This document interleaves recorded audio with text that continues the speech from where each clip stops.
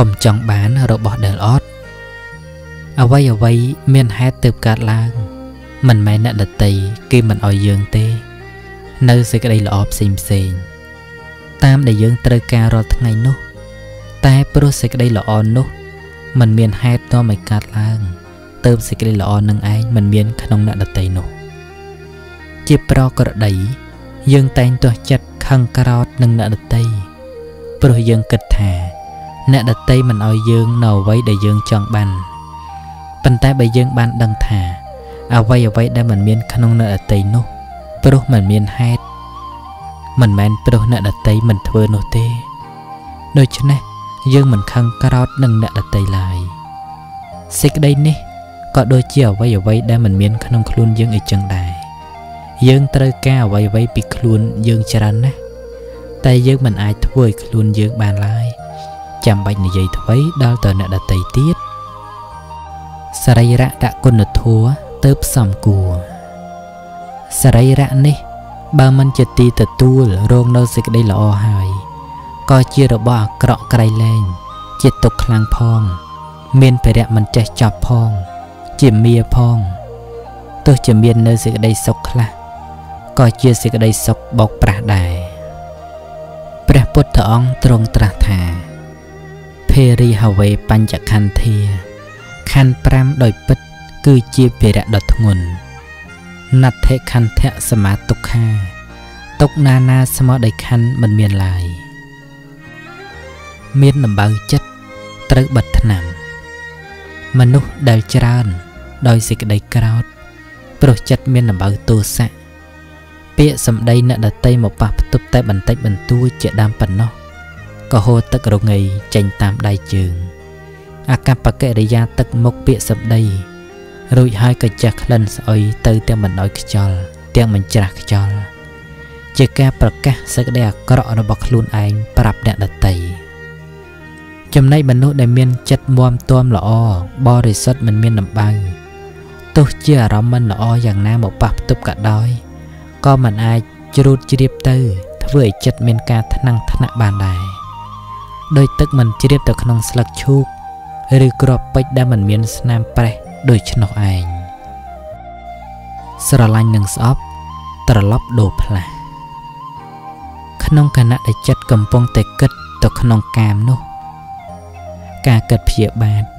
ឬគិតបៀតបៀនរមែងមិនមានឡើយលុះដល់ការគិតព្យាបាទឬគិតបៀតបៀនកើតឡើងសេចក្តីត្រេះរិះផ្លូវកាមក៏បាត់ទៅដោយនៃនេះ សបញ្ជាក់ឲ្យឃើញថាកិលេសរមែងកំចាត់បងគ្នាទៅវិញទៅមកពេលណាមានស្រឡាញ់ពេលនោះមិនមានក្រោតស្រឡាញ់និងក្រោតមិនអាចកើតឡើងព្រមគ្នាបានឡើយនៅពេលកិលេសមួយណាកើតឡើង រមែងកើតឡើងយ៉ាងពេញទីมันមានពាក់កណ្ដាលចិត្តស្រឡាញ់ពាក់កណ្ដាលចិត្តទៀតស្អប់នោះឡើយពិតណាស់ក្នុងមនុស្សម្នាក់ពេលខ្លះស្រឡាញ់យ៉ាងផ្អែមល្ហែមពេលខ្លះស្អប់ ឬក្រោតដោយជូរចត់តែវាមិនបានកើតព្រមគ្នាទេ ក្នុងជីវិតនេះ មានតែរូបធម៌និងនាមធម៌ប៉ុណ្ណោះផ្លាស់ប្ដូរជានិច្ចសុខភាពរបស់ចិត្តកូនជាទីស្រឡាញ់កាលពោលដល់រឿងសុខភាព យើងច្រើនតែនឹកដល់សុខភាពរាងកាយនឹកដល់ភាពរឹងប៉ឹងនិងការមិនមានរោគនៃរូបរាងកាយតែប៉ុណ្ណោះ តាមពិតសុខភាពផ្លូវចិត្តមានសេចក្តីសំខាន់ជាងសុខភាពផ្លូវកាយទៅទៀតចិត្តដែលមានសុខភាពល្អក៏នឹងប្រព្រឹត្តទៅដោយសេចក្តីឆ្លាត ស្រឡះថ្លា មិនមួម៉ៅក្តៅក្រហាយ ឬរវើរវាយឡើយដូច្នេះការរក្សាសុខភាពផ្លូវចិត្តឲ្យល្អទើបជាការចាំបាច់ណាស់សុខភាពនៃចិត្តនឹងល្អទៅបានក៏ដោយសារការថែរក្សាដែរ គឺកុំចេះតែប្រមូលរឿងរ៉ាវយកមកសន្សំទុកក្នុងចិត្តដោយអាយុនិសោមនសិកាអាយុនិសោមនសិកាបានដល់ការគិតខុសម្លោះហើយអារម្មណ៍ជារឿងរ៉ាវផ្សេងផ្សេងដែលចិត្តបានទទួលយកមកទុកដោយការចាំនោះក៏ទៅជាស្អុយរលួយបណ្ដាលឲ្យខូចសុខភាពរបស់ចិត្តมันមានរឿងអ្វីដែលអាក្រក់នោះទេបើកូនមិនគិតថាអាក្រក់រឿងតែម្យ៉ាងអាក្រក់សម្រាប់មនុស្សម្នាក់ព្រោះគេគិតថាអាក្រក់ តែมันអាក្រក់សម្រាប់មនុស្សម្នាក់ទៀតឡើយព្រោះគេមិនបានគិតដូច្នោះសេចក្តីពិតដូចនេះសំដែងឲ្យឃើញថាអាក្រក់ឬមិនអាក្រក់មិនបាននៅនឹងរឿងខាងក្រៅឡើយគឺនៅនឹងការគិតរបស់មនុស្សម្នាក់ម្នាក់កាលបើដូច្នេះកូនព្រមឲ្យគំនិតរបស់កូនធ្វើអាក្រក់ឲ្យខ្លួនកូនធ្វើអ្វីក្នុងលោកនេះមិនមានអ្វីដែលសំខាន់សម្រាប់កូនជាងកូនជាមនុស្សល្អនោះឡើយ ជំនួសការដែលកូនចង់ឲ្យអ្នកដតីធ្វើសេចក្តីល្អដល់កូន គឺកូនត្រូវព្យាយាមធ្វើសេចក្តីល្អឲ្យខ្លួនឯងទៅតាមដែលកូនត្រូវការព្រោះថាក្នុងលោកនេះមិនមានអ្នកណាធ្វើសេចក្តីល្អជំនួសកូនបានឡើយសេចក្តីល្អដែលកូនធ្វើដោយខ្លួនឯងទើបមានអានុភាពដល់ចិត្តជាពិតប្រាកដគឺធ្វើឲ្យចិត្តបានសុខស្ងប់កាលចិត្តសុខស្ងប់ហើយអ្វីអ្វីជាខាងក្រៅក៏រៀបរយទៅផងដែរ មនុស្សមានសុខភាពផ្លូវចិត្តល្អរមែងធ្វើជាមលុបឲ្យជីវិតខ្លួនឯងមនុស្សយើងសំខាន់សម្រាប់ខ្លួនឯងណាស់ចូលគួនរស់នៅជាមួយខ្លួនឯងជាមនុស្សល្អមនុស្សល្អរមែងថែរក្សាចិត្តឲ្យមានសុខភាពល្អបវិវេកៈរសាំងបិតវារសាំងឧបសមសច្ចៈនិត្តរោហោតិនិបាបោធម្មបៃតិរសាំង ពិវាំងបកុលក្រេបជញ្ជក់នៅរស់ដែលកើតពីវិវេកនិងរស់ព្រះនិព្វាន ជាទីចូលទៅស្ងប់រងាប់ក្រេបជញ្ជក់នៅរស់បៃតិដែលកើតពីធัวជាអ្នកមិនមានសេចក្តីក្រហល់ក្រហាយ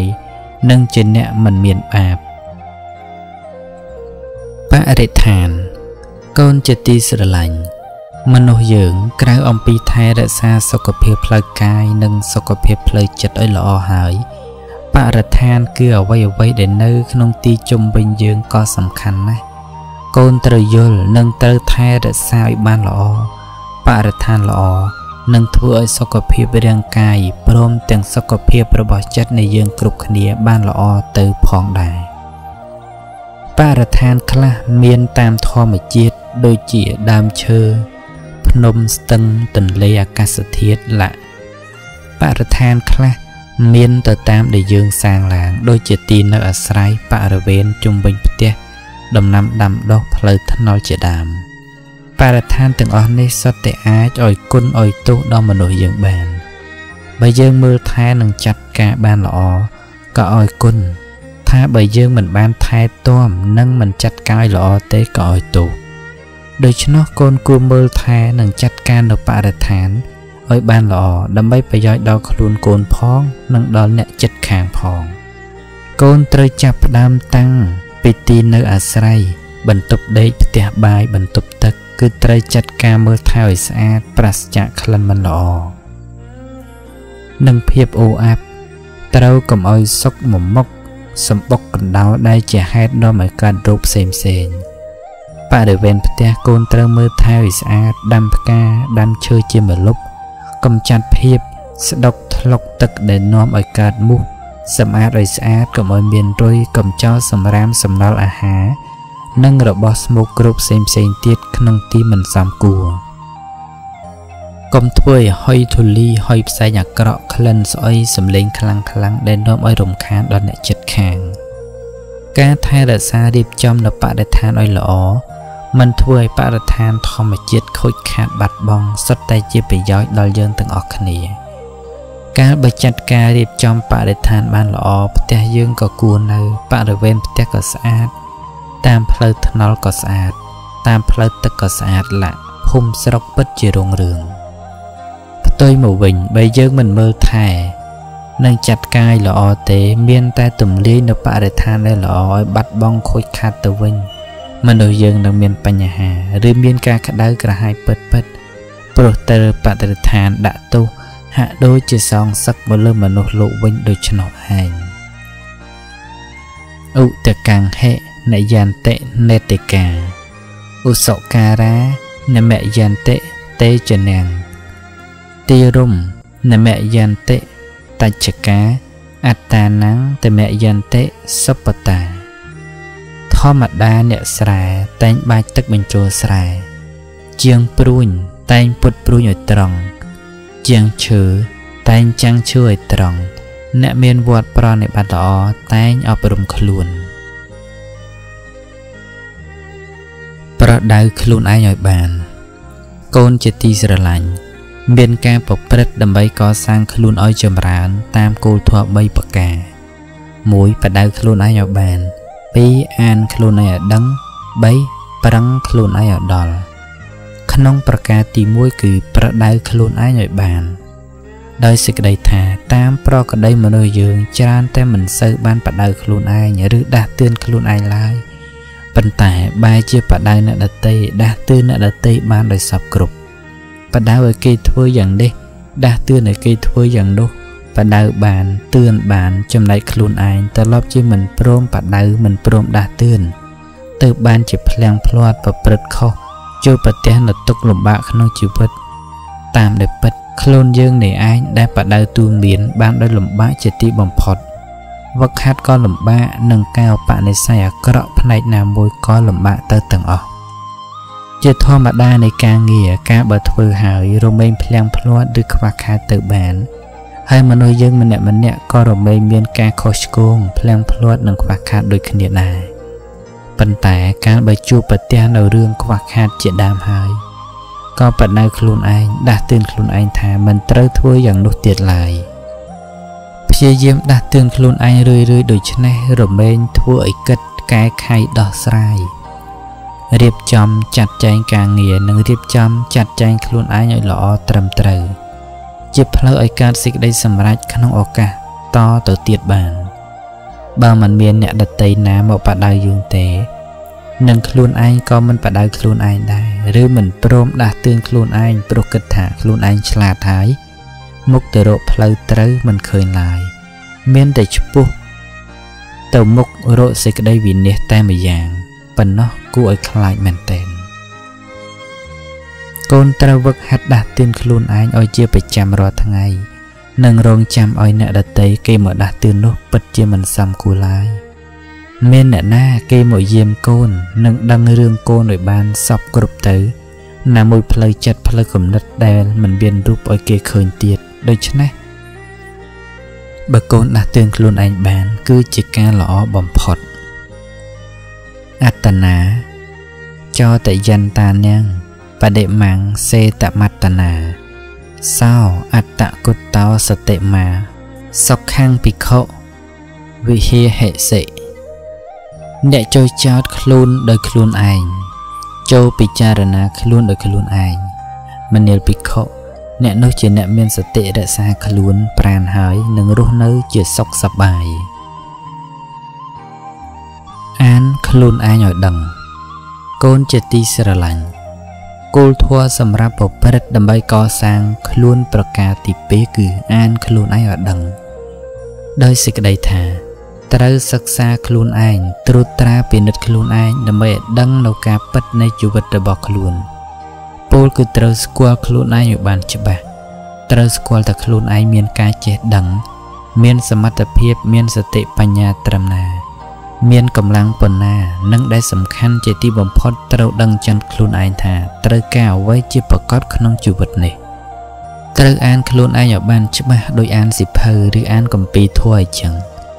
ត្រូវយល់ពីខ្លួនឯងឲ្យសពគ្រប់ប្រៀបដូចជាមនុស្សដើរផ្លូវឆ្ងាយបានមើលផែនទីស្គាល់ផ្លូវច្បាស់ឬដូចជាងធ្វើផ្ទះបានមើលគំរូផ្ទះយល់ច្បាស់ដូចនោះឯងដំណើរជីវិតឬដំណើរការងារយ៉ាងណាមួយ ក៏ដូចគ្នានឹងការដើរផ្លូវឬការសាងសង់ផ្ទះនោះឯងគឺអានខ្លួនឯងឲ្យបានច្បាស់លាស់រឹតតែច្បាស់រឹតតែល្អជីវិតនិងការងារប្រព្រឹត្តទៅបានល្អព្រមទាំងសេចក្តីសម្រេចដែលនឹងសម្រេចបានដោយល្អនោះព្រមមកអំពីការស្គាល់ខ្លួននេះឯងបើសម្បីតែខ្លួនឯងក៏មិនយល់ពីខ្លួនឯងនិងមិនស្គាល់ខ្លួនឯងផងនោះនឹងធ្វើការងារអ្វីបានទៅ ដូចអ្នកដើរផ្លូវអត់មានផែនទីទោះបីជាដើរទៅបានមែនក៏មុខជាវង្វេងឬខាតពេលខាតកម្លាំងជាពិតប្រកបព្រោះតែស្គាល់ផ្លូវមិនច្បាស់នោះឯងដូច្នោះមុននឹងធ្វើនៅកិច្ចការងារណា កូនត្រូវសិក្សាអំពីខ្លួនឯងឲ្យបានច្បាស់លាស់ជាមុនសិនគឺជាការអានខ្លួនឯងដូចជាការអានសិភៅអញ្ចឹងរួចហើយសឹមធ្វើនៅកិច្ចការងារនោះ កាលបើយ៉ាងនេះ ការខ្វះខាតឬការផ្លាំងភ្លាត់ឆ្កឹមឆ្គងនឹងមិនបានកើតឡើងឡើយតាំងពីដំបូងតែម្ដង ក្រៅអំពីដឹងថាខ្លួនឯងមានការចេះដឹងប៉ុណ្ណា មានសមត្ថភាពប៉ុណ្ណា មានសតិបញ្ញាប៉ុណ្ណា មានកម្លាំងប៉ុណ្ណា និងមានបំណងប្រាថ្នាក្នុងជីវិតយ៉ាងណាហើយនោះកូនត្រូវស្គាល់នៅទួនាទីជាដើមរបស់ខ្លួនទៀតផង គឺស្គាល់តាមសេចក្តីពិតថា ខ្លួនមានទួនាទីមានឋានៈមានភេទមានជំនាញនិងមានអគុណធម៌យ៉ាងណា ហើយត្រូវប្រព្រឹត្តឲ្យបានសមរម្យទៅតាមទួនាទីជាដើមនោះនិងឲ្យបានសមស្របទៅតាមផ្លូវល្អផ្លូវចម្រើនដើម្បីកុំឲ្យធ្លាក់ខ្លួនចូលទៅក្នុងផ្លូវនៃសេចក្តីវិនិច្ឆ័យអត្តាហេអត្តនោនិថោអត្តាហេអត្តនោកតិតស្មាសញ្ញមៈអត្តានាង អសង្ភៈត្រាំងវវានិជូខ្លួនជាទីពឹងរបស់ខ្លួនឯងខ្លួនជាកតិរបស់ខ្លួនឯងព្រោះហេតុនោះ អ្នកចូលរក្សាខ្លួនឲ្យដូចជានេះពេលនិច្ចថែរក្សានៅសេះដែលល្អយ៉ាងដូចឆ្នោះឯង